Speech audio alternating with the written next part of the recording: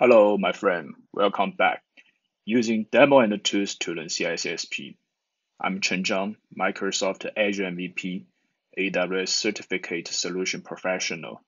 Okay, I think we are approaching to the end of our totally serious video, and uh, I think uh, more we are more closer we are approaching to the final destination and uh, uh more interesting the demo will show to you. Okay.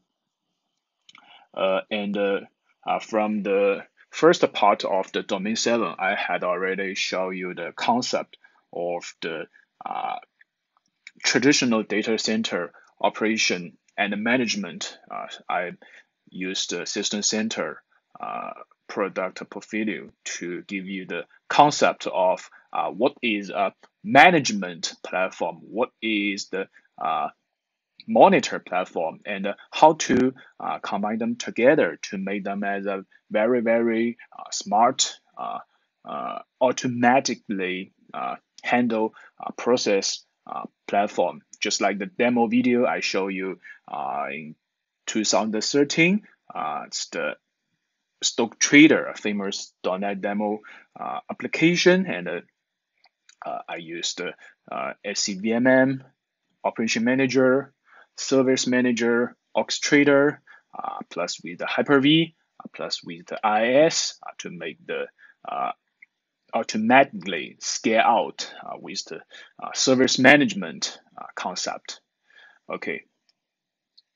And from the next one, I had already shown you the LibreNMS to monitor the devices and manage the asset. Okay, it's quite uh, solid. I think you know LibreNMS is so good. The open source platform and uh, uh, managed by the community. Okay. So today I will show you something uh, hot topic now, the Kubernetes. Okay. And I will use the Kubernetes to build a load balance and an ultra scale Nginx web farm. Uh, the intention I use uh, the Nginx here is Nginx. Uh, everyone uh, should be familiar with the Nginx platform. Okay, it's the uh, pro the modern uh, proxy platform. So good, and uh, Kubernetes is a new. I don't want to say it's a new platform because, but compared with other, you know, the traditional platform, Kubernetes newer than other platform and it's still a hot uh, topic now. If you want to seek job uh, you prefer to know what is kubernetes and what it can do what the benefit to our it or even to the or the organization the value. It's a long long story okay? And uh, uh, my environment is quite simple. I will just use two physics nodes to make the uh, HA uh, for the Kubernetes, which means if you uh, just need to maintain one node and uh, you have to uh, restart or you know the the uh, one node have to uh, suspend and you see everything will automatically transfer to another node by you don't need to do anything. It's automatically just like the concept of the uh, failover cluster. Uh, we're familiar with the failover cluster, okay? But uh, I can still remember in the Windows 2000, 2003, if we want to uh, achieve a failover cluster, you need to do a lot of job and steps. First, you need to rely on the uh, the, the shared uh, storage by the SAN, by the, uh, the, the the IP SAN, or by the you know by the FC. So you need the hardware to support it, okay, then you need to build the cluster. Then you have to uh, install the application based on your uh, cluster, such as a, uh, HA DHCP, HA uh, Hyper-V, or HA uh, uh, website, everything, you know, a lot of job. But now you see it's very strong. You don't need to do anything. You just install Kubernetes and, uh, you know, add two nodes, it's gone. It will help you to build the HA automatically, okay? And uh, uh, I will use the Nginx to build a farm. Uh, first, uh, uh, I will not go through the concept of the deployment, service, uh, HBA, HPA, dashboard, uh, because that's the basic uh, knowledge of the Kubernetes. I will just show you the same concept as my previous video show you. Build the automatically load balance system. And by default, maybe we will just have one instance or you can see one pod. That's almost the same concept, okay? And uh, I will use another tools to add some load. Then your monitor system will capture the load and it will trigger uh, the floor you defined uh, previous and uh, automatically scale out your web farm and up everything. Uh, if there is no load anymore, it will scale down. So you see, it's dynamic. It's very dynamic and automatically so good. So you see from the uh, Nginx uh, farm, we will have a, a minimum concept of the deployment. We will uh, have the deployment of the Nginx, maybe with just the one node, and uh, give the uh, resource limitation of the 100M. 100M means 100 millicpu. That's the default, you know, parameter for this node, for this port. Sorry, for this port. Okay, so here you see under the Kubernetes, we don't even to uh, get idea of the container, right? So it's you know advanced than Docker then you know the, the, the Docker concept, then the container concept. So everything should be uh, just using the concept of orchestration, right? And uh, uh, we will have a service. The service to make everything uh, will be load balanced with the uh, service IP address, so we can access the node uh, using the just like the uh, centralized uh, IP address. So uh, service we can achieve the uh, load balance. So HPA is the concept of the monitor and orchestrator. So I will show you use this commander to see the uh, HPA setting. The minimum one mix should be five. Sorry, mix should be five. This one to five just the number of the instance uh, in our uh, web farm uh, by our uh, definition, and the CPU percentage will be the uh, 20 uh, percentage. So that's very easy to understand. Okay, so if, if the service here, uh, the Nginx, your CPU percentage, uh, you know, exceed to the 20%, it will scale out. So that's like just the, the threshold, right? That's just the threshold. So you see, also the concept, the, the service deployment, HPA, maybe they have the different terms in the Kubernetes than our traditional data center, but the concept is always the same. Even in the next video, I will show you by the AWS. You see, maybe we will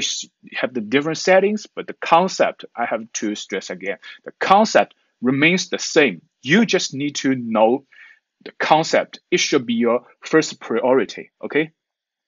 And give the load to see what will happen, what it will trigger, okay? Uh, now we are uh, in our demo platform and I'm still uh, using uh, Hyper-V with two nodes, U1 and U2 as my uh, Kubernetes uh, cluster nodes, okay? And first I can show you the dashboard. You see, even in the LibreNMS, you need to configure the dashboard uh, here, uh, we don't need to configure anything. It will automatically uh, capture using the service API concept. Everything will be based on the uh, API. So that's the difference. I think the or I think I think the, the unique value, the most uh, great value of the Kubernetes, everything based on API and will discover automatically. You don't need to add anything. You just need to config, config. So everything will automatically display on our uh, dashboard, and we can see here the our nodes, we have uh, two nodes with the uh, CPU usage, memory usage, uh, and uh, workload. We can take a look. Deployments, the our deployments. You see, I deploy lots of the uh, traditional uh, service, just like Tomcat Nginx, Apache, WordPress, Redis, uh, with the pod. You even cannot see the uh, concept of the container on the uh, dashboard of the Kubernetes because you don't need to care about it. Okay. And uh, uh, we can take a look the service. Okay. Uh, using the commander and this commander have already come connect to the Kubernetes dashboards and we will use kubectl get service. See, uh, we will see the nginx node port uh, with the uh, IP address and the port. So here we take a look. Yeah, there you go. Okay, so uh, we also can see how uh, the detailed information of the uh, this service. So we'll use the tail get service nginx see? And uh, if we change the service with the deployment nginx here. Uh, we will see here we got the uh, just one node uh, and if we want to scale it's also very easy. Just use the kube uh, scale. But I want to uh, use the HPA to uh, do it automatically okay? So first I will show you the how to set the our HPA the concept okay? Ctl describe HPA nginx uh, that's our order uh, log. You see here the configuration minimum and the maximum will be 5 and the current is 1 1 desired and that's the current use the 1 percentage you see 1m and the maximum will be the uh, 20 so uh, we will switch to the load test uh, tools. I will use another one use siege uh, just give the load to the IP address here. Okay we take a look.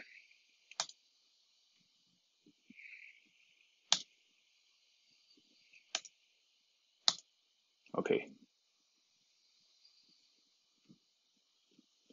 And uh, I think it had uh, start to give the load to our nginx so we will keep tracking uh, the kube ctl get hpa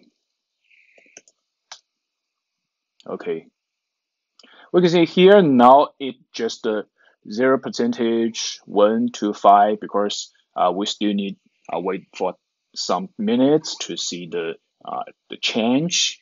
Okay. Okay, we, we, we can see here uh, just after one minute, okay, we will use the same command and we see here the CPU had been the uh, 100%, so uh, totally maximum the our threshold. So it scale out to uh, from the one to now it, the number is four, and we just take a look again. There you go. You see, it had uh, five replicas, five node, uh, five ports totally, and we can even uh, see the log. Uh, use this command describe HPA nginx. We will take a look what happened. What's the log inside this HPA? You see, new size four, new size five. It, it tell you everything what happened. Okay.